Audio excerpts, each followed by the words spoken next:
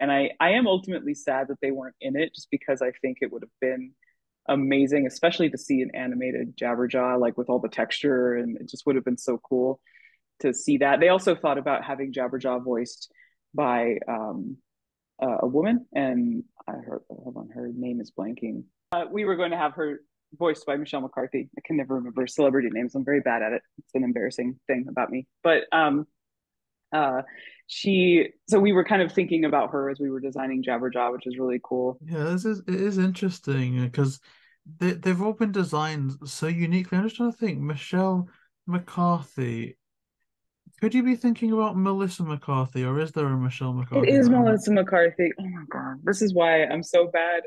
it's okay. I, I don't know names either. I rely on JB for absolutely everything. No, I was gonna let that continue, names. but then I was just like, no, you're right. it was Melissa McCarthy. Yes, that is her, the like amazing actress and comedian.